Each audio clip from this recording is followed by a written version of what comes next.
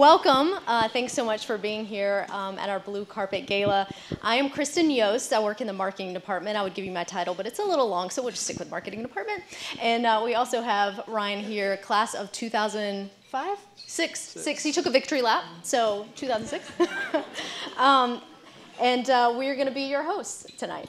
Tonight we will honor seven alumni award winners and five Sports Hall of Fame inductees. And so here's a little bit about how the night will go. We will invite the um, award winners up on stage. We'll have a little chat, and then the award winners just walk off the stage here, um, grab your plaque, and then at the end of the night, we will have time for photos. In your program tonight, you can read all about our award winners, Hall of Fame inductees, and also the criteria that it takes to be a part of this stage tonight. Wonderful. Ready to go? Ready to go. All right. All right, our first um, award winner, uh, Distinguished Alumnus Award, goes to Patrick Brown. Can I get him to come up?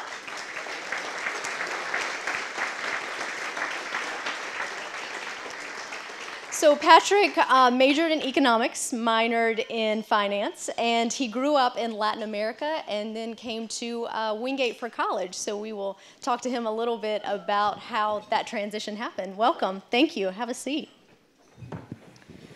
So Patrick, yeah, talk to us first about how, how you found Wingate from Latin America. Oh, well, first of all, I didn't realize I was going to be the first one up here, so uh, thank you. Sure. Um, well, honestly, I, I, I, was born in D.C. My father worked for the U.S. State Department. Um, we immediately, pretty much within a year or two, moved to Latin America. Grew up in Brazil, Bolivia. Spent a little time in Ecuador. Uh, came back to the U.S. to go to college, and uh, living in Latin America, thought I was going to be a professional soccer player. Uh, quickly realized when I got to uh, to Wingate that uh, there's a lot of good soccer players. Um, and so decided to buckle down in economics and finance, got a degree, Dr. Veda Das, um, was, was just fabulous, took an econ degree, uh, econ class, loved it, and, um, and, and, and just continued on from there. Um, and then started a, started a company in, uh, soon after graduating with a gentleman by the name of Wayne Cooper. Um, fabulous man, still a mentor, friend uh, to this day. Just spoke to him today. Lives here in Charlotte, North Carolina. Matter of fact, is a is a is is a trustee here uh, on the board, and, uh, and and just had just a, an incredible opportunity uh, leaving Wingate to uh, to really get into to business. So. And you, just, and you also met your wife here at Wingate. I did. That's yeah. right. My wife's uh, originally from Darlington, South Carolina. Uh, family lived in Monroe. As a matter of fact, as I was driving in from the airport, uh, I live in Austin, Texas now, uh, but driving in from the airport, swung by the, the old house. Um, but we met here, and uh, funny story, we met here, uh, I guess I was about a junior or so, and uh, we, we, we went on a date, we went out of town, had never actually met her parents that lived in Monroe and she got extremely sick. Um, and uh, come to find out, had a ruptured appendix. Oh my. Didn't didn't know that at the time, of course. Um, but the first time I got to meet her father, uh, Tom Duncan, who happens to stand six foot eight, uh, was at the hospital. Um, so that was quite the experience. But yeah, it's it's been uh, a Wingate family since, and and uh, just proud to have been part of the university, and and frankly got a chance to bring my son back this summer to go to a football camp with Coach Reich and in the in the football team, and. Um, maybe he becomes a bulldog as well. So we'll see. Awesome. Well, you touched on a little bit um, talking about family. Talk about the importance that family, um, the the role that they have played along in your journey. Yeah, I mean, I, I always say nothing is accomplished individually. There's no I in, in anything you do, frankly. Um, it's not just it's not just family. I can start from my grandfather and, and mother and father that taught me the work ethic uh, to, to, to just really buckle down and work hard to uh, to frankly my experience here at Wingate uh, in the family that I built here to uh, my wife, who we've been married now 22 years, going on 23 years, uh, who supports me in everything we do, and uh, many, many years of travel and being gone and, and, and not there necessarily every day for uh, raising the family. She's the CEO of our house. Uh, to, to the kids, frankly, uh, tonight, actually, what time is it?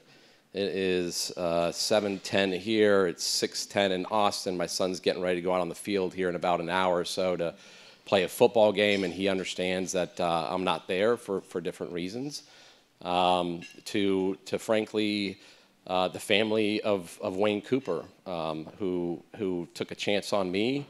Um, and was supportive of me to uh, to to invest in, in the ideas that, that I had at the time, and uh, to frankly the, the family that I have now uh, with 650 employees at the company. It's, it's just, you know, nothing is an I. It, it really takes a village to make things happen in life, um, whether that's in business, whether that's with family, uh, whether that's here at the university and in sports. Uh, or what Dr. Brown is doing now here at the university, it really takes a whole village uh, to make things happen. So, and you are a big believer in servant leadership which fits along nicely with our motto of faith, knowledge, and service. So, talk a little bit um, about that um, servanthood. Yeah, um, I, I, think at the end of the day, that's what a leader is. You're there to knock down barriers and serve the folks that you work with, and uh, and serve the folks that uh, work alongside you. Um, it doesn't matter what what you know industry or whether you're in education or whether you're in business or, or anything else, frankly or, uh, or whether you're a pie cap back in the day, um, as those pie caps are, are sitting over there, uh, and our moderator over here, uh, another, there you go, another pie cap. Um, uh, service and servant leadership is extremely important. I, I tell folks that I work with every day, my, I don't do anything. I really don't. My only job is to knock down barriers and help you do your job. Surround yourself with really smart people uh, who are super motivated and that check their egos at the door and are humble um, and just get out of their way, uh, frankly. So, uh, servant leadership is extremely important. Wonderful. Well, thank you so much for being here tonight and chatting with us and taking time away from your family to be here. We so appreciate it. Let's give Patrick one more Absolutely. round of thank applause you. here. Appreciate it.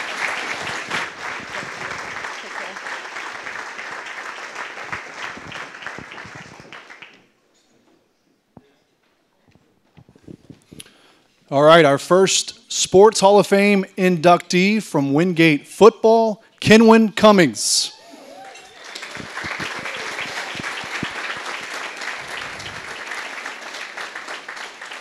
Kenwin was a two time All American in the top 10 in every statistical category in Wingate football history. He left the big city of Wingate and went to the Big Apple, defying all the odds as an undrafted rookie and signed with the New York football Jets.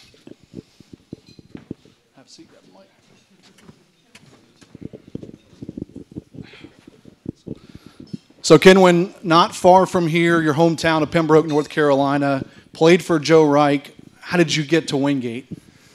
Oh, man. Um, leaving uh, a really small town, like you said, really didn't have a whole ton of people come beating down the door to come to college. I went to a couple, I uh, went to Chapel Hill, went to Wake Forest, and uh, those visits were awesome. Wingate was actually the last stop that I that I came to. Um, and when we came here, I was with my dad and uh, my mom. We came here, and it was we came into the which is kind of ironic of tonight. You know, we came into the, the the, the gym and we saw the Hall of Fame. You know, the the wow. people who had made it.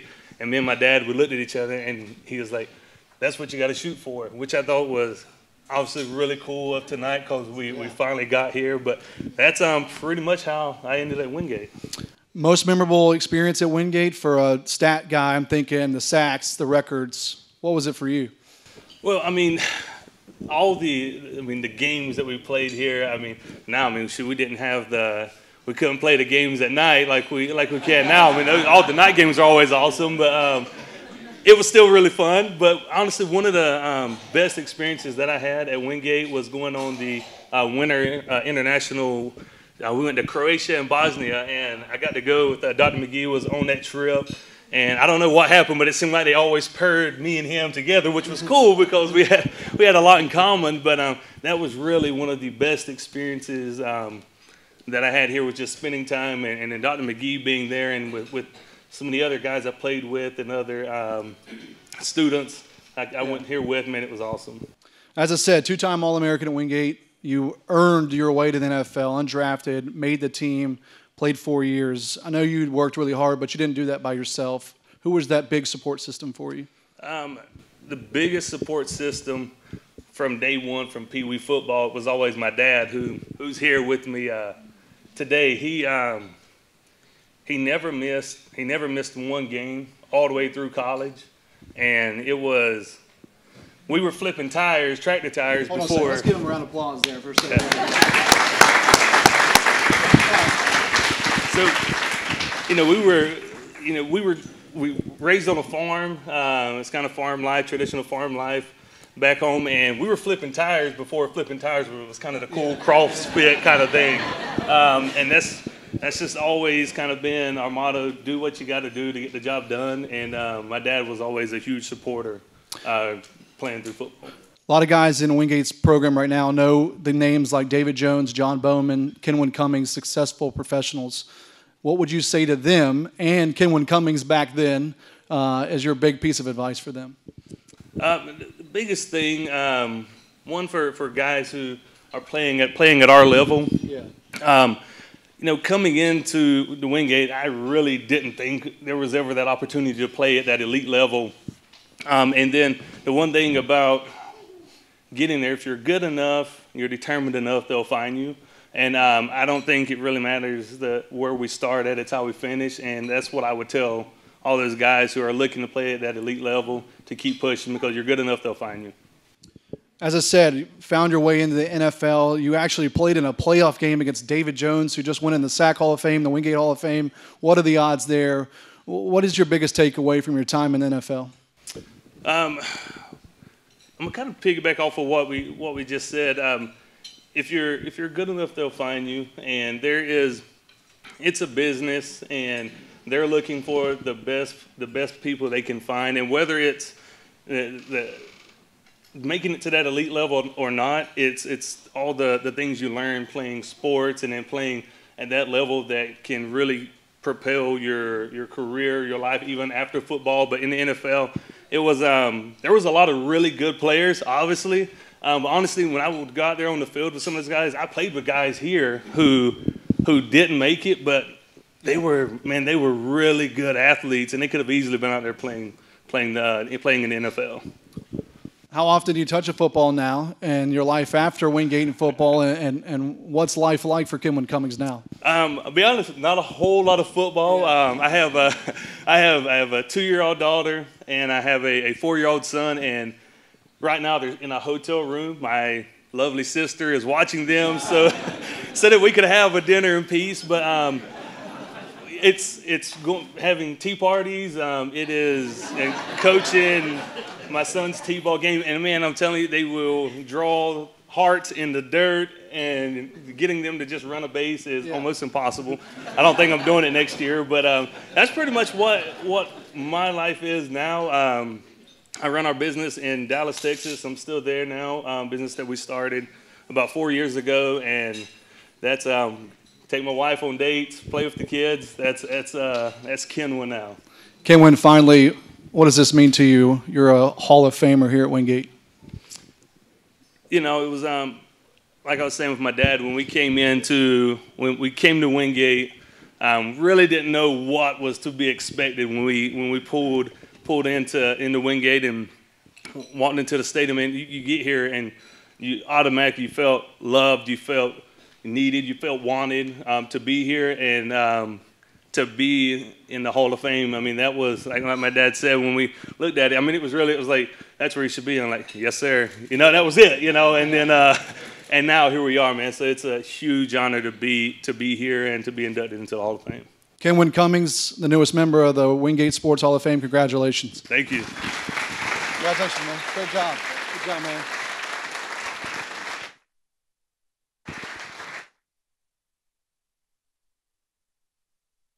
All right, and up next we have another Distinguished Alumnus Award, and that it goes to Chris Cartwright. Can I get Chris to come on up?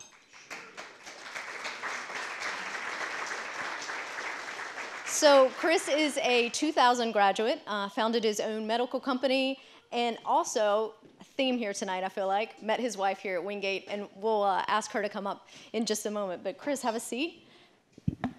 Welcome, welcome. Thank you very much. Congratulations. Thanks. So um, oh, Chris also was um, featured in uh, in this um, edition of our Wingate Today magazine. If you guys um, have seen this, so um, it talks a lot about your business, how you got started. Um, for folks who have not read it, talk to us a little bit about how how you got all of this started.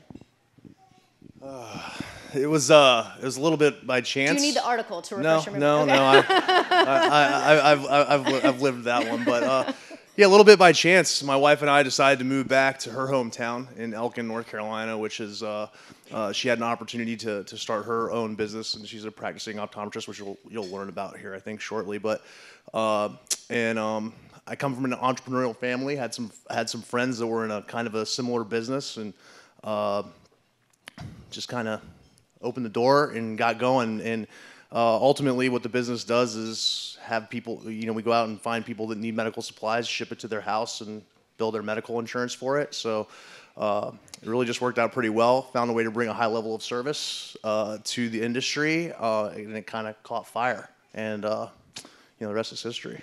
And you also employ some Wingate grads too, yeah, right? sure do. company? Yeah. have quite a few. And so you, you touched on the servant leadership, um, and I know in the article it talks about when you had that very first order, you went out and, and made that delivery yourself. Yeah. Didn't even have all the supplies. Had to go to a CVS, get those supplies, and then actually drove the 30 minutes to deliver it to this woman, and she became a, a, a good customer. Yeah, she made great chocolate chip cookies. um, but yeah, I mean that's really what uh, I, I learned. I learned. Uh, I learned a couple things. Uh, worked for my dad. I worked for my dad, who was my first job after leaving Wingate, and learned a lot about the importance of bringing high levels of service in, into into into into business and making it be something that you actually do. You don't just say. Uh, also, uh, my coach Dodd over here. I worked. I interned him for with, uh, uh, with him in the Helms Center for for two years, and learned a lot about selling a vision which was kind of going out and telling people that you can get things done for them before you can actually really do it. Um, so when you when you have to mesh those two together, sometimes that means that you're scurrying around on a Saturday morning to try to you know deliver on your promises. and uh, tie in the, the service um, that maybe you did at Wingate um, and how that helped you with your business. Um, I think the biggest thing about uh, you know the, the when when I think of service at, at Wingate, it really was just learning about. Uh, the community. We through the lacrosse team, the fraternity, also that we started. I mean, we didn't really take uh, took it for granted going and picking up trash on the side of the road on a Saturday morning, or uh, standing in a scaffold to raise money for for, for a cause. And uh, the, the the great thing about the way it's affected me in business is what I've learned is uh, you know giving back is of course important. Um, but uh, those opportunities are important to everybody that works with, with, with the company. And, and, and the one thing you get from those experiences is that when everybody goes home, they feel good about themselves. Um, and so those are the things that we've tried to create, you know, with, with, with our employees is just good opportunities to give back to the community. And everybody leaves with a positive attitude. And sometimes it's hard to do Monday through Friday. Any advice you would give to some budding entrepreneurs out there? a lot of advice. Yeah, I mean, I think that uh, um, most important advice I think I could give anybody is if you really want to do it, you gotta, you know, push your chips out there on black. Um, um, and it takes a lot of hard work. I would never do it again. Really? It- yeah, I mean, it was really hard. I mean, uh, lived in my uh, mother-in-law's basement for two years. Um, you know, we we spent about six months apart trying to just make ends meet, and uh, also went a long time, as the article reads, thinking that I was going to fail, which was really hard. Um, so it was really tough to do, uh, but it was well worth all of it. But I just don't know if I, you know, some there's a lot to be said for, um, you know, ha- just having a job. Yeah. what would you say that you're most proud of? I mean, you've worked really hard to, to get this business off the ground. What would what would you say you're most proud of?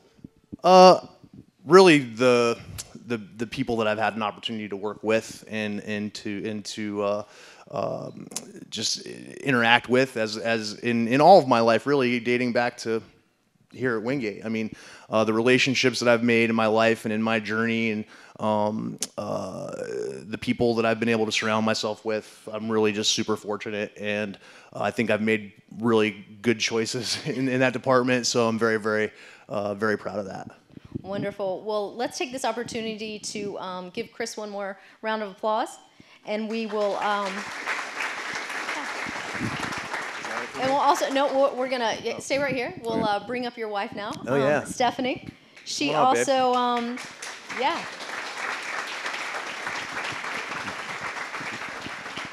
She also received the um, Distinguished Alumni Award, uh, 1998 graduate. This um, one on? And has her um, own optometry practice in Elkin, North Carolina. So welcome, welcome. Hi, thank you thank for being here. Thanks. So um, your husband talked a little bit about starting his own business. What is it like for you owning your own business or practice, I should say? Um, I mean, I would agree with him. I mean, it's a lot of hard work. You have to spend a lot of hours. Um, but if you're passionate about it and you love what you're what you do, it's uh, oftentimes not a job. Yeah, wonderful. And so um, you knew you wanted to go back to Elkin after graduation? Um, not not initially. I always loved the area, of course, uh, and my mentor in optometry was there, so he was actually the one that had initially got me interested in it. Um, but after having lived in Florida for almost four years, I guess, um, then we just decided it was a good opportunity to move back. So. What was that time like when um, Chris wasn't sure if his business was gonna gonna take off? Was that hard for you guys? stressful just Yeah. a little bit but um, but you know perseverance Mm-hmm. patience um, uh, made us made us successful really so Fantastic. Yeah. Um, what are some pros and cons of owning your own practice? pros and cons um, pros is flexibility which is nice um, you get to set your own rules uh, which is also nice um, and really for me it was it's about setting a schedule for um, patients where i don't feel rushed and i can develop those relationships with them so um, that's probably the, the best thing about my job um, cons is that you spend a lot of hours, um, and that would be like the top 10. Just a lot of hours. Yeah. Yeah. Um, you ta- touched on a little bit those important relationships that you like to make with your patients. Talk a little bit about that and the community that you're trying to grow there. Sure. Um, I mean, I think anytime you're in a role um, where you have the opportunity to not only be a provider for them for their health care, but also um, to be able to build those relationships. Um, I think it's extremely important um, because it shows that you care about your community and you're not just there for the job. I mean, that you really care about the patients themselves, not just uh, not just them being there. So, yeah. Wonderful. What does this award mean to you? Um, it's a huge honor. Um, I, I mean, quite unbelievable, um, and certainly thankful for the opportunity that I had here at Wingate. Um, you know, multiple um, people have talked about you know the people that have surrounded them, um, and I would have to say from my family to my family here at Wingate to um, my uh, graduate, um, doctorate.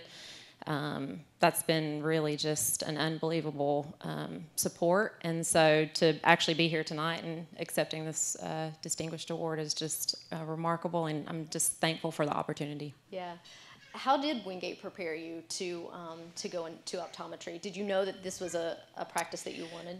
I to go into? did. Uh, I knew that um, I was. I wanted to go into pre med, so I knew immediately biology major um, for sure. Um, and the teachers that I had here, from Dr. Plant um, to Dr. Haddon, um, there were so many great professors that really.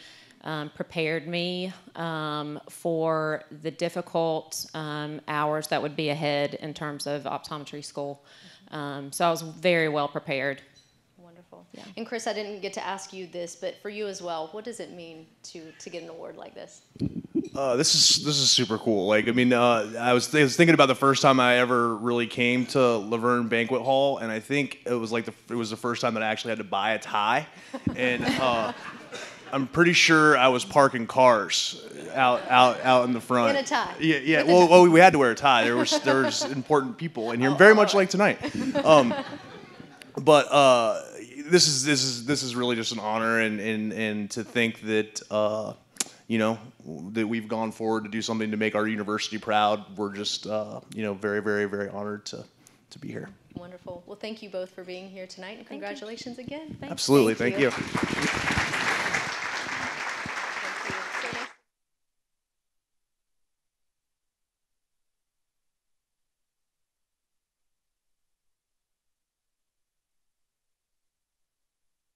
Our next Sports Hall of Famer, Dr. Amber Hines Jensch.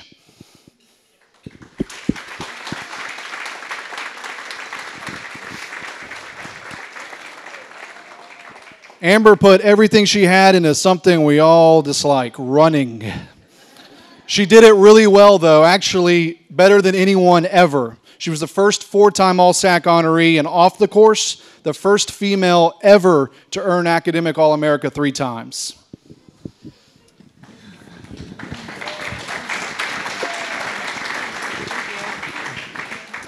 So, Amber, you ran in meets from middle school all the way through college, 10 years of meets. How many of those meets did your parents miss? Not a single one.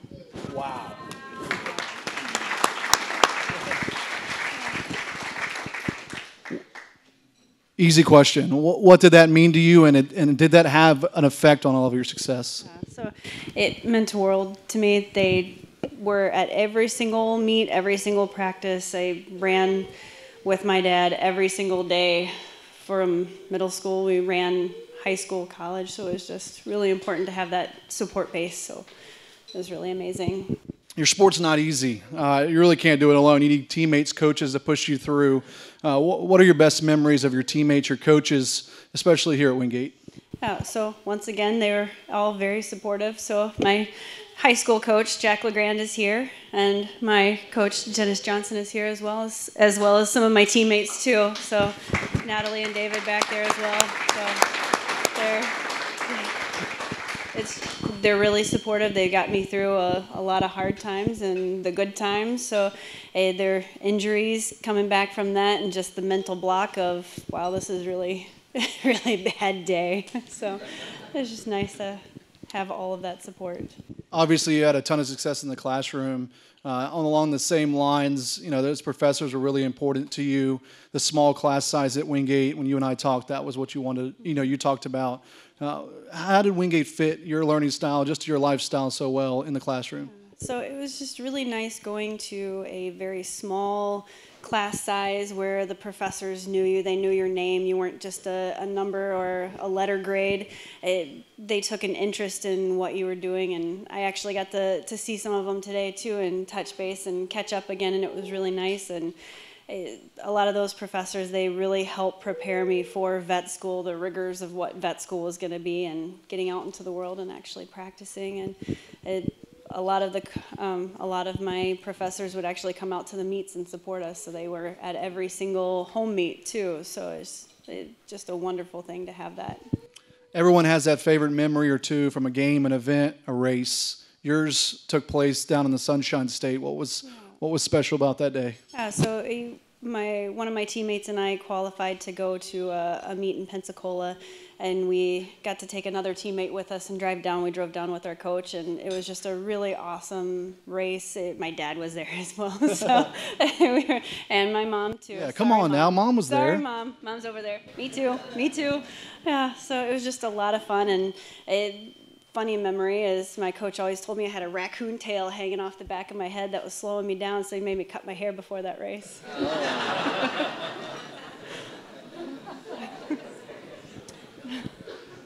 you were obviously more than a great student and great athlete. You were a great member of the community.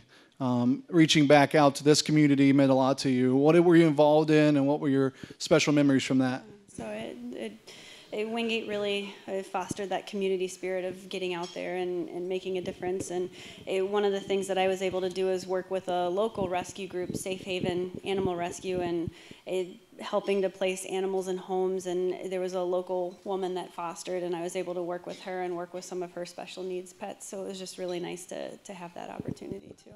I always have this question for swimmers and runners and cross country. I mean, what's the thought process while you're out? Oh, we're going to go out for an eight, six mile run. I mean, what do you think about all day? I mean, truthfully. Yeah, you go through everything, the, the, all the things that uh, went on in the day, things that you were looking forward to, the dumb things you did. Just keep going over those, and, and what you were gonna tell your parents that day, or just a lot, and just oh, Schoolwork. this, yep, Yeah. schoolwork, and oh man, this is really hard. Maybe I should just stop. No, I can do it.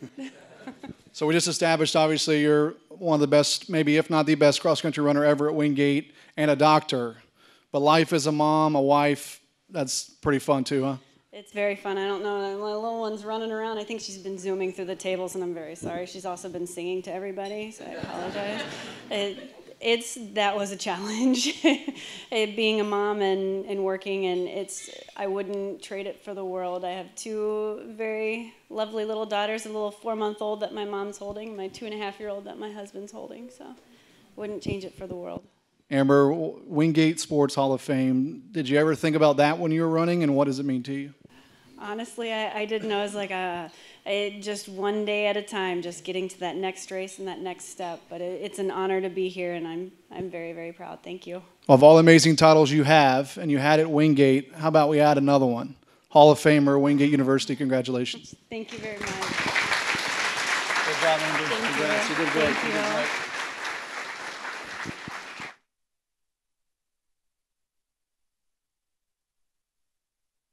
All right, and up next, the award for Outstanding Young Alumnus, Seth Howell.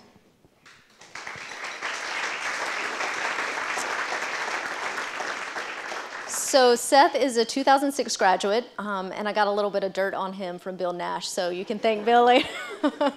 um, Bill says he is nothing short of a guy who gets it done, and he does it the right way. So welcome, Seth.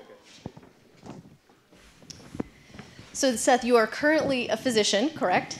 That's right. But you um, uh, took took quite a path to get there. So talk a little bit about your time uh, in the Air Force. Yeah, so first of all, it's great to be back. Um, my wife and I met here freshman year, and every time we come across the, the train tracks, we just kind of look at each other and, and smile because there's just tons of great memories. We don't get to come back as often as we would like, but it's, it's good to be here. Um, you know, thankful for the opportunity to come back.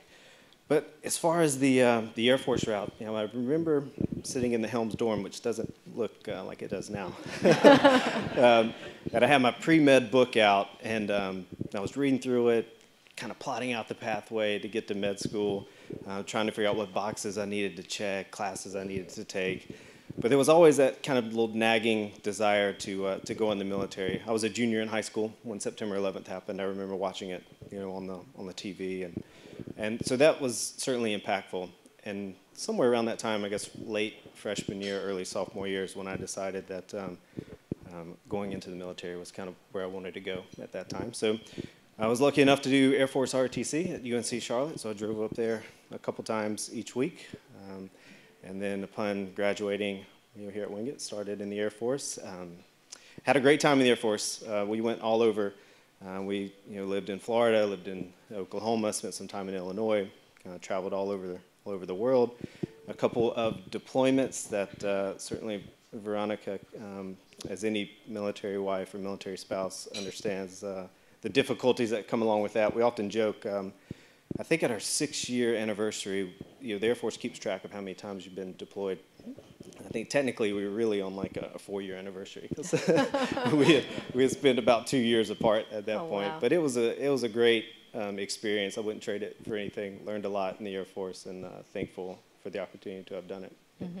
Now, uh, small town boy, Pageland, South Carolina. Yeah, that's right. Uh, very small town. Um, you know, Pageland's where I went to high school. Uh, I grew up in Jefferson. No one, no one heard of Wingate because it was pronounced Wingate. Wingate, yeah. Wingate. Yeah. So, Yeah. um, but it was President Brown says either way is acceptable. Right. So. so, but and my parents went to school here. Uh, sister graduated from here. Of course, uh, Veronica, my wife, uh, graduated here. So a lot of Wingate in the family, um, and it, you know, it was it was great, kind of coming to school close by for me. Was, and multi-sport athlete, right? and yeah, so I had you know I was able to play uh, you know football for a couple years here, baseball um, as well, and you know, great experiences on the field, um, great coaches. Um, had a had a great time here. Wonderful. Talk a little bit uh, about how how much Wingate influenced you to get to where you are today. Yeah, so I think for me, Wingate was the perfect fit. You know, the the environment was was what I needed to kind of get started. Um, the the one-on-one that you, you truly get. I think a lot of um, folks up here have mentioned that, but you know, I remember senior year I had you know a class with with five five people. Wow. So if you ever thought about missing, you were going to be noticed. For sure. For sure. that you were not there. But it was just the opportunity to to have conversations with uh, with professors in, in that type of setting was. I mean, you can't put. You, know, you can't put well. I, th- I, guess we can't put a price tag on it, but um, but which I was also excited to find out, especially with six kids, that uh, if you you know get this award, it comes along with free tuition. Oh, well, we're still working out the specifics on that. okay. yeah, right. yeah. Okay. We'll put, Maybe just one kid. We'll start that rumor. Yeah. All right.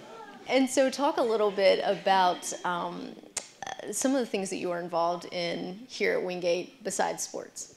Yeah, so um, sports certainly took up a, a, vast majority of the time. And, you know, like I mentioned, kind of ROTC took up quite a bit of, of time as well.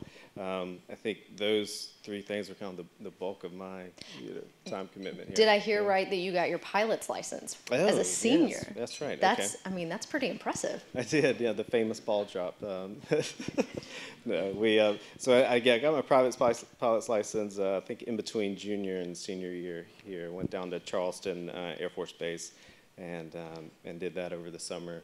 Came back here, went to a couple local airports. Um, somehow convinced uh, some family members to go up with me. I think I scared them to death. They oh. never went back. so, but no, it, it, was a good. It was, yeah. So what's next for you? What's next? So like you, um, currently right now, so I'm at you know Wake Forest um, in dermatology residency. Um, so I've got a couple years left to go. I think you know it's hard to know exactly what's next. I'm interested in academic medicine, so you know that could be staying with Wake Forest or seeing where seeing where else I go. But you know, I think um, the immediate future, getting through residency, raising our six kids, um, and just trying to enjoy each day. Awesome. Well, again, congratulations and thank you so much for being here. All right, thanks so much. Congratulations.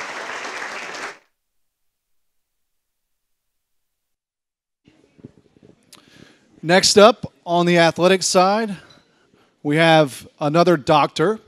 This time it's Dr. Anna Atkinson Caparaso.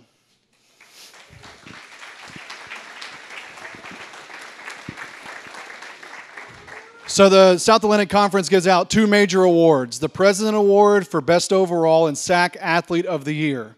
The two major awards at the athletic or at the university level, Academic All-American and Athletic All-American. Only one person ever has won all four in one season, Anna Atkinson.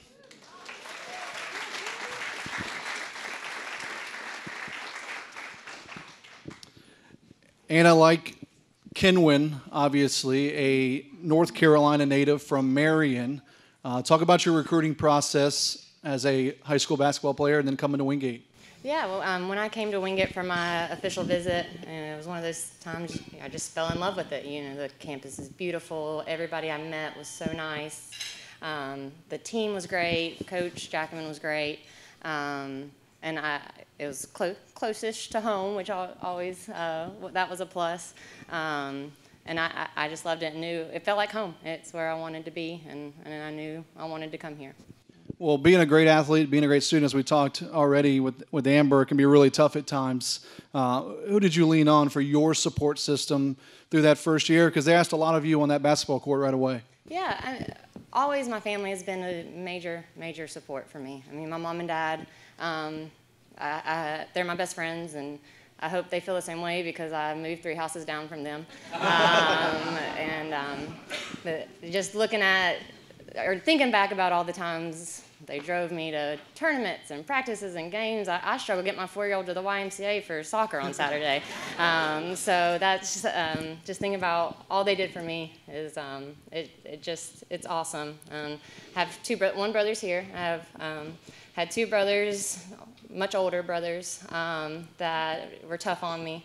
Um, one time, I, I, remember it would snow. They'd have all their friends in the front yard, and there would be an offensive line and defensive line, and I'd be the running back, and um, they try, so they they try, they they made me tough, so uh, it helped out a lot. so you had two coaches in your four years here at Wingate. Obviously, the legendary, the late great Johnny Jackman, and Coach Nelson as well. And then on the other side, as a point guard, you're the leader leader of the team, regardless of year. What was do you remember about the relationships with the coaches and the players that sticks out? Yeah, um, you know, coming in as a, a freshman, you know, point guard.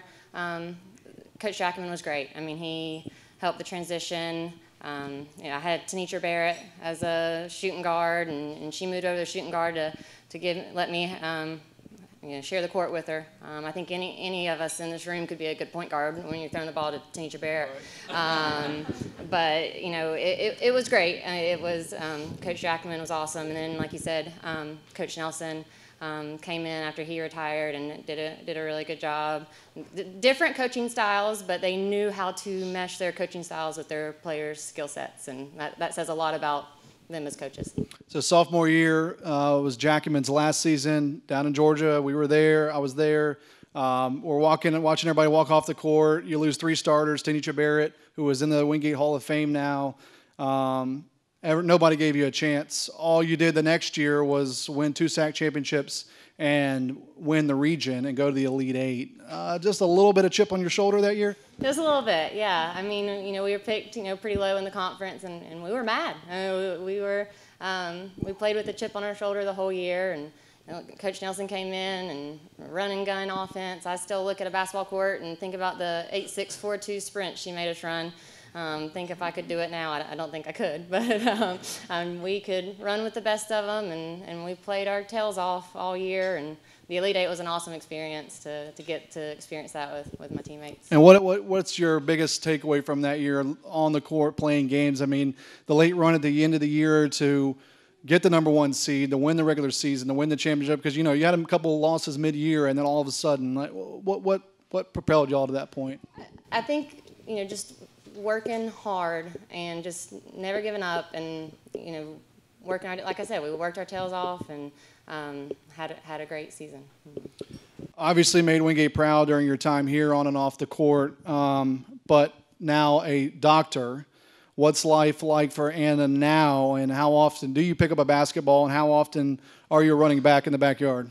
Yeah, um, not very much basketball. I'm a full-blown uh, minivan mom. I've got a four-year-old little girl and a nine-month-old little boy, and um, they're with a babysitter right now. So I don't really know what to do with my arms. You know, I'm not holding a kid.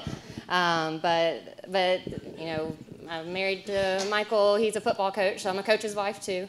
Um, they just won the championship. All right. So, but it, it's fun. I wouldn't, wouldn't trade it for the world. As I said, the only man or woman to ever accomplish those four major, major awards in the same year. It all equals to this moment right here, Wingate Hall of Fame. Where does your mind go when I say you're a Hall of Famer? I just, I feel very blessed to have been given the opportunity to, to come here and play basketball for this um, university, and I'm, I'm just very honored. Thank you so much. Anna, again, as we said, and we've already established, you've won every award pretty much ever. So it's only fitting we give you one more Hall of Famer. Congratulations. Thank you so much. You did great. Good job.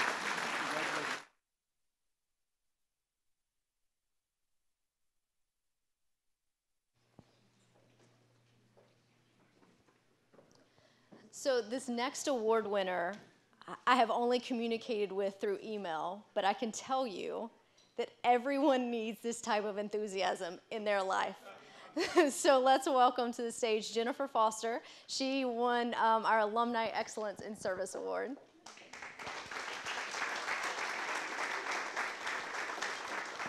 So Jennifer is a 2008 grad, um, and she has been busy since graduation. Uh, Masters of Art in Teaching, uh, being a missionary in the Amazon, uh, starting her own nonprofit being a motivational speaker and I teacher.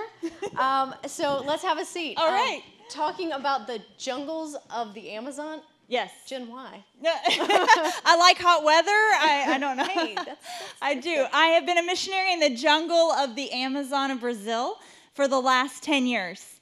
And the why is because I've wanted to do it since I was eight. I remember sitting on a floor listening to two missionaries talk about their experiences with an unreached tribe in Africa, and I just knew that that was what I wanted to do with my life. And it wasn't Africa that I went to, it was actually the jungle of the Amazon. But I remember when I was sitting down with Coach Reich right after I had gotten hired here. Coach said, Well, so Foster, what do you want to do? What is your goal in life? And I said, My goal is to go to an unreached people group and reach them for Jesus. and he's looking at me like, And why did I hire you as my DFO? like, what? but he's like, That's interesting, okay. but it truly, since I was eight, has been the desire of my heart. And scripture tells us to have faith like a child. And so I think that's what we all have to go back to is what we really just want to do with our lives. God created us for that purpose. And so, out of all of that that I named, um, and then uh, also you had a movie that came out about what you were doing in the Amazon, yes. right? So, so how do you do all of this? How do you fit all of this into into a day or into uh, your lifetime so far? Yes. I, the answer is going to kind of surprise you. So how do I how do I do it all? How do I make it all happen? And truly, the answer is rest. And I, I just remember quite a few years ago, I was at a place of total burnout. I was at a place of exhaustion. I was at a place of just being done. And I just went to scripture and I just started to look and, and see there's got to be more than just striving and going and running and doing all of this. And, and I saw the story of Mary and Martha. And Jesus wasn't condemning Martha, but what he said was, what Mary is doing is best. And she was just sitting at the feet of Jesus. And so that's what I began to do. I just began to spend extreme amounts of time, and I still do, with the Lord every day. I let Him give me the downloads. I let Him just bring things to me. And if it looks impossible, that's how I know that's what I'm supposed to do. Because that's what I know that He's going to give Himself the glory for through me. Yeah, I love it. I love it. And I just I honor a Sabbath day once a week. I turn things off and I just I'm just with him and let me tell you, if you want more success in your life, if you want to stop being so overwhelmed, just slow down. Just stop. I think we found our next MC for next year. next year. You can you can tell you're you're definitely used to this. So, um, of all of those things um, Yeah. that you have done and accomplished, what would you say is your favorite? Oh, my absolute favorite thing to do. I tell people I can help you get whatever it is you want. You just have to tell me what that is. If you can tell me what it is that you want, I can help you get it. I love being a life coach. I love motivating people to go after their heart's desires. And I believe my success comes from the testimonies of people who are living out success in their own lives from finding what they've been created to do and doing it. And what does it mean for you to win this award? Ah, to win this award is it truly means that I took some advice and I ran with it and did it with excellence. I remember years ago I was told if you want to be a great success, if you truly want to be a success in life, surround yourself by people who are really great at everything you're not. And it worked. Clearly, I did it with excellence because all those people deserve this excellence award. I have parents who are here tonight who truly are parents of excellence. I have Coach Reich and Dee, mentors of true excellence. And I just surrounded myself with people in my, my ministry, my life, people who are really great at everything I'm not, and they just make me look good. That's awesome. Yeah, you should give them the award. You can share it, pass it around. I will. They get it for a month. You can you can take it back. I love that idea. So going back to the Amazon, I don't know why I'm so fascinated with um, with you going out to the Amazon, but what would you say is maybe the craziest thing you've ever experienced out there? I remember back in 2016, we were doing a massive church building project. It was the biggest one we had done to that point, and we had a whole tribe that was giving their lives to Jesus. We had brought in people from all over the world to build this big building with the tribe. And I remember about a week before the inauguration service, I said to them, I said, okay, guys, what do you want for our big inauguration meal? What do you want to have? We're going to have something really special. I'll get whatever you want. And they said, we want beef. And I said, okay, not a lot of beef out in the jungle. Sure, we, we can do beef. Oh, I think we can. And a guy said to me, I know where we can order beef from. And I said, well, super, tomorrow you go order the beef. Now, keep in mind, we are three days away from the closest city, okay? Three days away. But this guy's gonna go order beef. So he goes and he orders the beef. He comes back, I ordered the beef. I said, I'll pick it up on the day of the inauguration service. So the day of the inauguration service, I go to the location with the guy to get the beef, right? 600 pounds of beef I have ordered. And this is what I get. By far the most memorable moment in the Amazon was when two men delivered two cows, a 400 pound and a 200 pound live cow, to my canoe.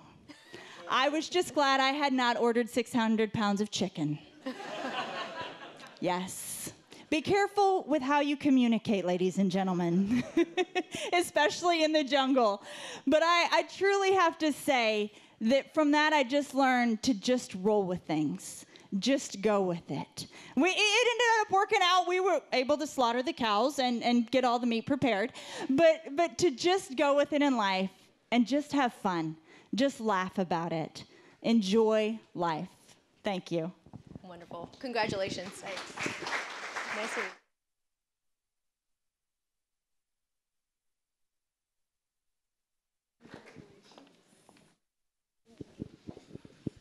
Our next Sports Hall of Famer, head coach of Wingate Volleyball, Shelton Collier.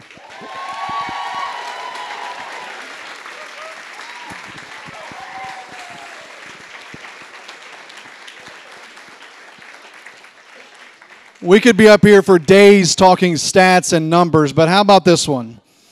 Wingate has won 12 regular season titles under Coach Collier.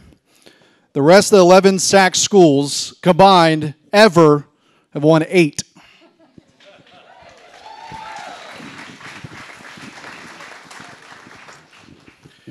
Coach, Division One coach for 20 years. You were the Big East Coach of the Year at Pittsburgh, the ACC Coach of the Year at Georgia Tech, and then you came to Wingate. Why?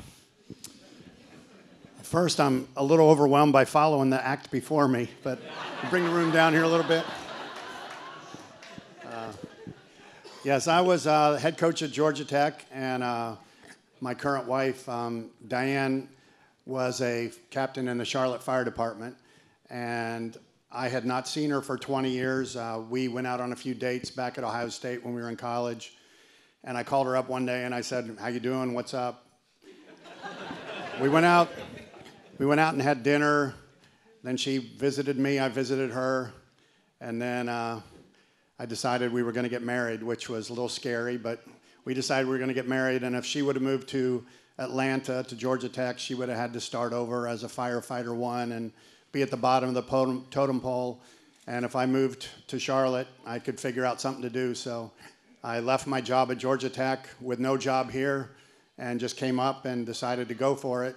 And uh, at that same month, this opportunity at Wingate came available. And uh, I came down and interviewed for the position, and it worked out. And it's a pretty amazing story, but it's all worked out really well. Coach, initially, what were your goals for the program? Um, you know, and how did those kind of evolve as years went by? Yeah, I think I, I came up here and I just needed an employment place to work. so started working, and the team was maybe by standards now very average and um, not really competitive in the conference or certainly not competitive nationally. And but we grew and we worked together. And there's actually some alumni here that were in those first years of the grind where we weren't having much success. And then from there, we recruited some better players and some better players and some out of state players. And uh, we raised the level of play. Then we eventually had All Americans, academic All Americans, won championships, got to represent Wingate at the Elite Eight at the big show, and uh, it just kind of evolved into something very special. I, I can say I, I, didn't see it coming when I took the job. I just thought that I would work here and coach and enjoy coaching. And then step by step, we became more relevant and more nationally relevant. And uh, Wingate's considered a nationally successful volleyball program now, and it's really rewarding to be a part of it. Coach, you've had the opportunity to serve many, many times with the U.S. national team as a volleyball coach. What effect has that had on you? Yeah, it's interesting. I had some opportunities as a young coach. Uh, I was an assistant coach in the 1988 Olympic team in Seoul, Korea. Uh, I've been able to be the head coach of some USA junior national teams that went to world championships. Uh, so I've had opportunities to visit other countries, see other coaches, see what other countries do with their volleyball. And each time I'm around other high level coaches and high level volleyball, I feel like maybe I learn a little bit and then I'm able to bring it back to Wingate. So it's been a, a, a joy and a pleasure for me to work with USA Volleyball. Uh, but at the same time, as coaches, we're all learning and growing and try to get better at what we're doing. So um, the opportunity to be around USA Volleyball and, and Olympic Volleyball has certainly helped impact my coaching here at Wingate. And uh, I think we've been a, a good program because of some of those experiences. What's been the most rewarding aspect of your last 17 years here at Wingate? Oh, there's a bunch of them. I, one is I, I truly have players that inspire me every day. You know, some people have jobs they like, some people have jobs they don't like, but I'm around people that are young and ins- inspirational. They're really bright, motivated, and it's uh, a, a pleasure for me every day to go in the gym and see motivated players that are that are really really special kids and uh, much more special maybe than I was at that age for sure. Uh, but then also a rewarding point is um, working with kids that are a little more challenging and maybe need guidance and and maybe are struggling and and Wingate volleyball can be part of their uh, redemption and part of their success and sometimes those kids that are most challenging to work with sometimes are the most rewarding to work with and and we've certainly done some special things here. There was a time we won 82 matches in a row, and it was awesome going to every gym in the country and being able to win 82 matches in a row. And then we lost one, and then we won 55 more on top of it. So it's it's really rewarding to be with a group and say we're going to go do something special, and to be a, able to have something special happen. Coach, homecoming weekend, and you know it's really uh, one of the best teams on campus does it like you guys. No one does it like you guys homecoming. All these athletes that showed up tonight, your team is here. Um, the support you've gotten from your alumni, they come back, they care about the team, maybe better than anybody, as I said. What does that mean to you to see all them here tonight and how many times they come back to campus? Yeah, I'm not often um, overwhelmed, but you got me. This is good. Um, the, the, the players here, we have a big match tomorrow, and we're trying to get ready for tomorrow, and I've asked them to get their rest, and yet they come here for this. Very cool.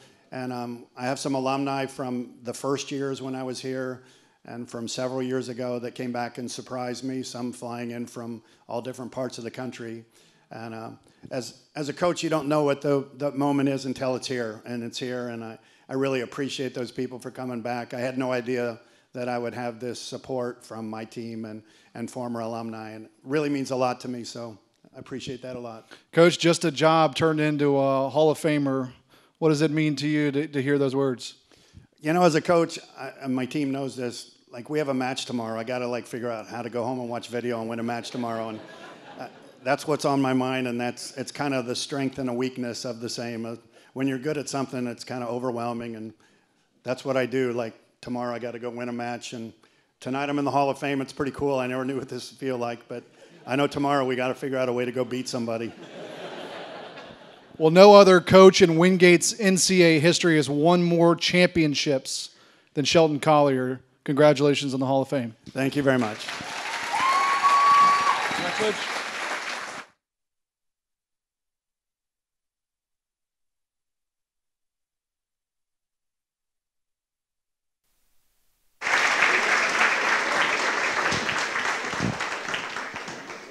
All right, up next we have the recipient of our Champion of Diversity Award, Anthony Daise.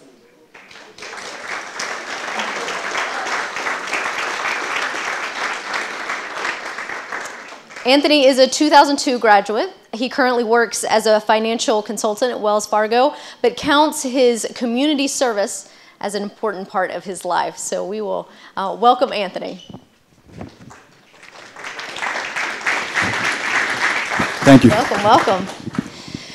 So, uh, first, talk to us a little bit about this community service um, part of your life and why you find community service so important. Uh, seat's kind of comfortable. Yeah, sure, just Um, relax. So yeah, um, so yeah, I'm, I currently serve on the uh, board of directors for uh, the Sugar Creek Charter School um, here in well, I shouldn't say here, but in Charlotte, North Carolina. Um, it's one of the, if not the oldest, it's one of the oldest charter schools in in Charlotte. Um, it serves about 1,700 students K through 12, um, and all of these kids come from high poverty environments. Um, all of these kids either receive free or um, reduced lunch, so that kind of gives you an idea of the type of background that they um, that they come from. Um, I mean, community service, it's to me, it's, it's kind of a no-brainer. I mean, I think back to my days here at Wingate. Um, we had an I had an opportunity to participate in a program called Bulldogs Reaching Out, um, and the men's basketball team. Some of us we would go down to Wingate Elementary School, and and we would volunteer. Um, not all of us. We would volunteer, basically mentoring little kids there, and it just came easy to me. And I just think back to like just growing up as a as a kid, and I think about the environment that I was in. Um, pretty big family. Um, it was six of us, three boys, three girls. And it, it was kind of like we were doing community service in our house, right? like, r- really, I mean, you, have, you come from a family that's, that's that big, you're always kind of helping each other out, right? And you don't really think about it, but it kind of carry, carries over into other aspects of life and even with, with sports. Um, so, yeah, so volunteering with Sugar Creek Charter School is just second nature to me. Um, and prior to that, I had an opportunity to be a mentor with um, Big Brothers Big Sisters, which is a national organization. And here in Charlotte, it's, it's been around for about 47 years, um, and they've served over maybe a thousand or so children over that time frame.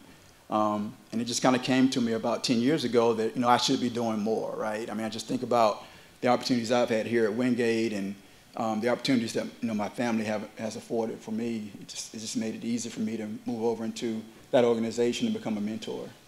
And we have a lot of first generation students here. So, how do you mentor the students that you come in contact with to let them know that you know there's more out there and to strive for strive for the best? Yeah, I, I try to be present. Um, so when we have different events and, and things like that related to uh, Sugar Creek Charter School, they don't really get to see um, minorities in in roles, kind of like what, what I serve um, on as a board as a board member. Uh, I, I kind of think about a, a recent tour um, we had at, at um, Sugar Creek, and I went we went into one of the classrooms, and one of the uh, one, one of the young men he actually kind of shook my hand, and I hadn't even spoke to him or anything like that, but it was like almost a an acknowledgement of kind of I see you, like you know I, I, I see you.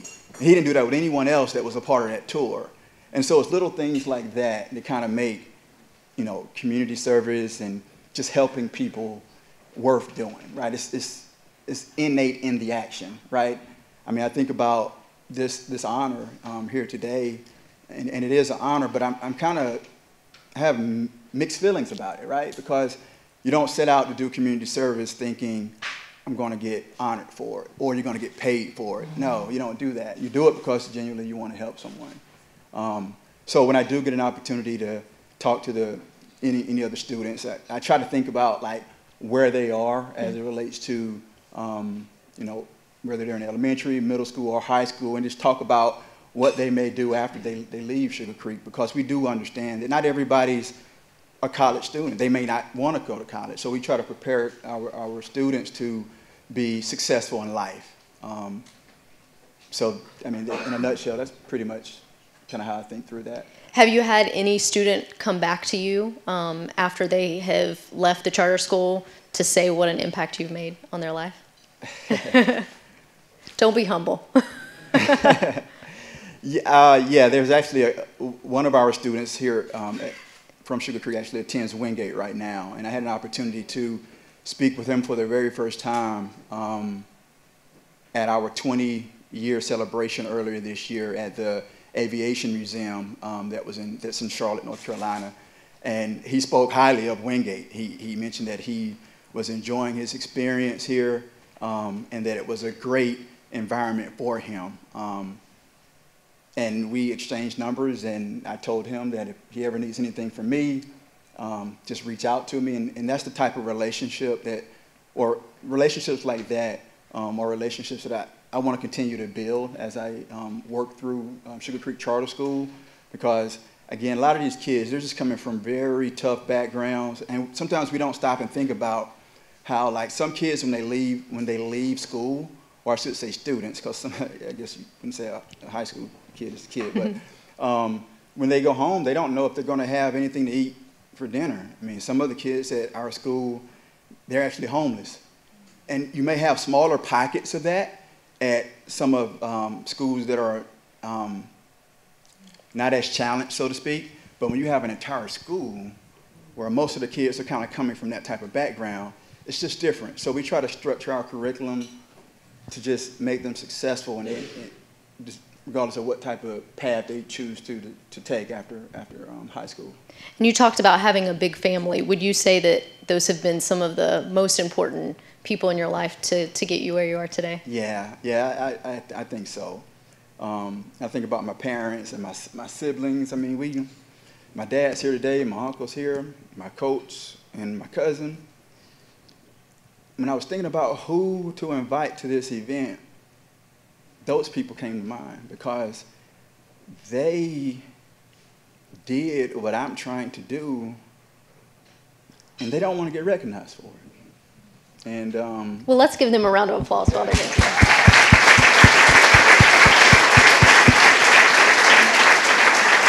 So, so, so yeah. So that, to answer your question, I mean, yeah, they, they were a big. My family was a big part of who I am today, along with some, you know, um, some extended friends and things of that nature.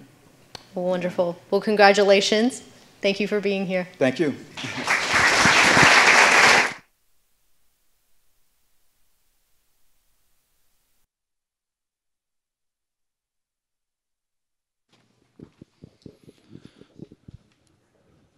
All right, our final Wingate Sports Hall of Famer of the night from Wingate Women's Swimming, Maria Vlashenko Crowder.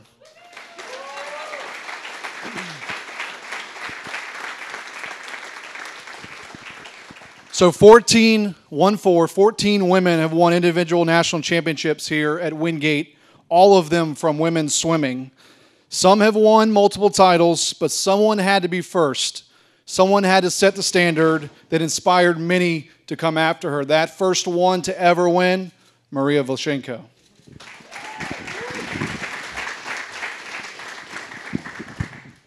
So, Maria, originally from Russia. Yes. Um, How did you find Wingate? So, originally, I'm from Russia, but everybody thinks Russia is a Moscow. So, let's take a geography lesson. You know the, where's the Europe, right? You know where's the Moscow. So, scroll down and pass India, Mongolia, Korea, China, and right there. That's where I'm from, Far East. It's pretty far, it's pretty isolated, but we got lucky. So how we found Wingate? Actually, I didn't do anything. My brother, who right now in Bali, enjoying his surfing, he is the one who did the entire job. He found the company which was sending Russian athletes to US and Canada to compete and study. And he signed up and that company sent out our resumes and we got offers. And Kirk, he's right there in the corner, he reached out to us and he started recruiting process. And he said that he would like to see me at Wingate University, in which we responded that it's a package deal. If you want somebody, it's going to be two of us.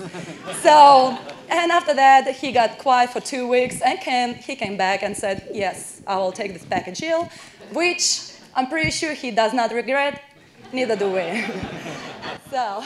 How, and it's a package deal because it was fair to say you guys need each other to come here. Uh, how, how, did he lean on you coming to America, and how did you lean on him as well? Um, 06 is the time without the smart smartphones. Skype was there, but nobody used it. So it was really scary time to travel because it wasn't that popular. Right now we have yeah. over like 300 kids who are from foreign countries. But that time it was 12 kids. I remember that little gathering, 12 kids, and four of them were from Canada. and let's do the math. 12, so it's eight. Four of them were from Canada, six from England, and two of us from Russia. So literally from totally different country, it was just two of us. So it was really challenging, different language. That was really challenging. And it was kind of taking a leap of faith because we never had a recurring trip. We didn't know where we're going.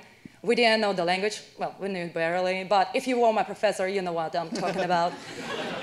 so, and the worst thing is we flew through Atlanta airport, and you know what it is there. So somehow, Kirk managed to find us. We didn't have a cell phone, so he didn't know we landed, but he did find us in that airport. So, and that was just amazing. but it took us a year to learn English to a decent level. And we had a great advisor, Nancy Bush. She was, she was a blessing. So. You talked about Kirk a couple times, but you know, swimming, uh, an interesting sport with a relationship with the coach and the athlete, much different from other ones. How would you describe your relationship with him? Obviously, he meant a lot to you because you stayed around and helped him coach too. Uh, yes, well, Kirk is actually, I consider him my foster dad. He is the person who gave me away on my wedding day. So, well, my parents didn't plan to come over because they knew I was planning to elope. so, but then somehow it went a little bit more extravaganza and we had a little ceremony and I needed somebody to give me away and Kirk was the closest father role model to me in here. All right, so let's go back to March of 20, uh, 2008. We're in Missouri. Before we talk about the actual national title swim, what was your seed? How did you feel going into that week? Did you have national championship on your mind? Um, the entire year we were planning to win the nationals. We had a goal, we made a plan, and we just were working hard to achieve it. And somehow I managed to be seeded first throughout the entire season. Every meet, my time was always first in the ranking. And coming to nationals, I was first, and I just expected to be, to, to get it, to actually get it and put my mark in the history. All right, so 100 breaststroke. Did you know that no one had ever won an individual national title at Wingate yet? Uh, no. You didn't know Dasha that? Chagas, he won the national I meant on the women's side. I'm sorry, on the women's side, yeah. On the women's side, yes. That's exactly what I was striving for. I wanted to be the first female national champion at Wingate University. So 100 breaststroke. What do you remember about the swim? Were you in the lead the whole time? And what, what do you think? What do you remember when you think back to that? Um, well, the prior year we got 11s on both sides as a team. And I remember Drury University was always the first. They were always winning everything. And coming to final, I remember I was on my lane four, and the girl on the right and the left, both of them were from Drury, and they're bigger and they're stronger, and I just know how they swim. So I know them.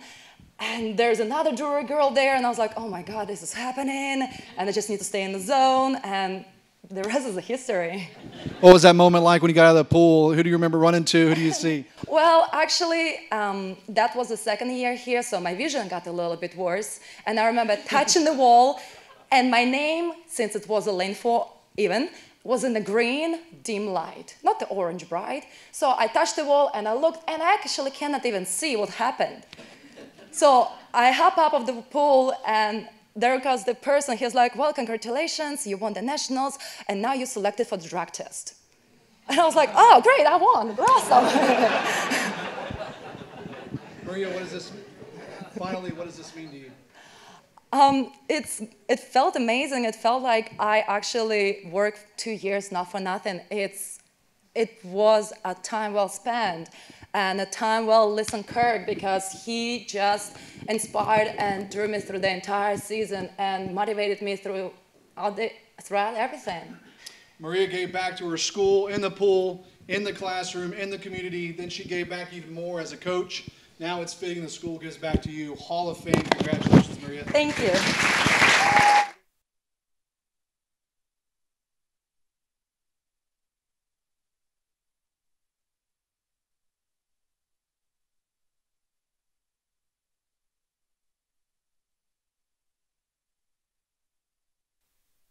but he might as well have with as many people as he is associated with that did graduate from Wingate, um, winning our honorary alumnus award, George Bower Jr.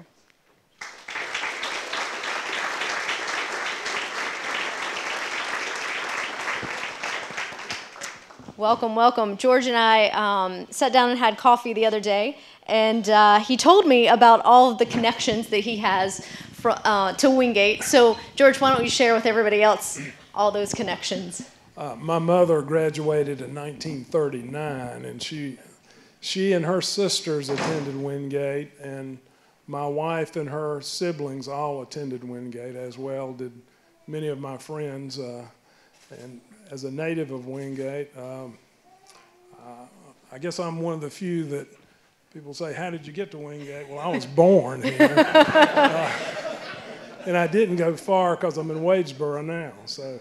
Uh, back when my mom went to school, um, tuition was a little cheaper. I've got a check from my grandfather's uh, account for seven dollars and fifty cents for tuition. And no one get any ideas. It's not going to go that yeah. well. and, and, and, the story that she told me. The two cows that we saw up here back in the 30s would have been a good tuition payment because there was a lot of bartering for education back then. Again, no one get any ideas. We're not taking chickens or cows. So, also talk about your connection uh, with Wingate, the first job you had not too far from here. Right. Many of you are familiar with Wingate Outfitters, and some of you that are Wingate natives or been here a long time remember Austin Store. Uh, well, Austin Store uh, was where Wingate Outfitters is, and I, that was my first job. We sold uh, groceries, hardware, clothing, farming supplies. The, if this was a sidewalk, there was a gas pump right there. You would just drive your car up there, and you'd gas up right there on the street. So uh, it was uh, it was a great place, and uh, a few of you remember the store. I know. How has it been watching the campus change over the years? it's been amazing from a small school when I was a child, and, and to see the growth uh, not only in the buildings but in the student population and the outreach. I think uh, uh, Wingate's always been community involved, but it's really amazing now the growth. And you are currently involved with the Braswell Trust. I am. Um, Talk a little bit about that and, um, and maybe one of your most favorite um, ways that it has impacted someone. Right. Well, uh, the Braswell Trust uh, is a trust that was uh, founded and established by James and Bronnie Braswell, who were Wingate residents, lived a few blocks from here. They were folks who um, I would say would, you would consider under the radar, your next door neighbor. Uh, they had no children. They, um, he was a savvy businessman, and they um, had plans for their assets after their death, and they, they established the trust. And it supports many things. Uh, just to tell you a few, uh, the community shelter, the um, Habitat for Humanity, and uh, many others. Well, if you think about the community shelter, that's really where the rubber meets the road. That's people who, who are in dire need there. There, there was a young lady named Kara a few years ago who uh, had five children, uh, found herself as a single mom, trying to support children and daycare and have a job. Then she, her, she was evicted. She went to the shelter uh, where she got emergency uh, shelter and assistance. And from there, they, through their program, helped her get employment at a dollar store. She was skilled and was able to become a manager. And from there, she was able to uh, have enough funds to support her children to get daycare. And from, from there, she received uh, a stipend called uh, rapid rehousing. It's something the Braswell Trust funded that allows people in her situation to uh, get their first month's rent paid, a deposit, and a good start because people who have nothing can't pay a deposit, they can't begin their life over. Today, she is, works for the U.S. Post Office. Her daughter received a scholarship to college, and, and because of that, she, she's, uh, she's up and going. Wonderful. Uh, so, um, Mr. Bower was telling me that the Braswells were very humble people.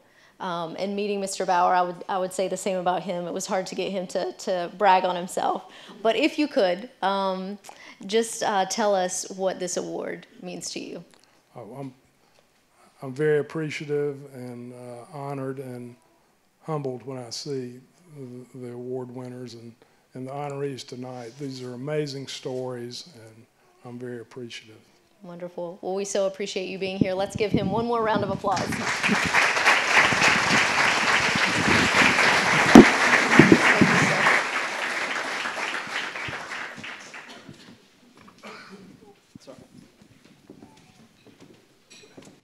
All right, well, we want to thank you all for being here uh, tonight, and we hope you have enjoyed the evening. Um, we would like to note that um, photos are being taken outside uh, with the awards and your family um, as well if you want to uh, head out there afterwards.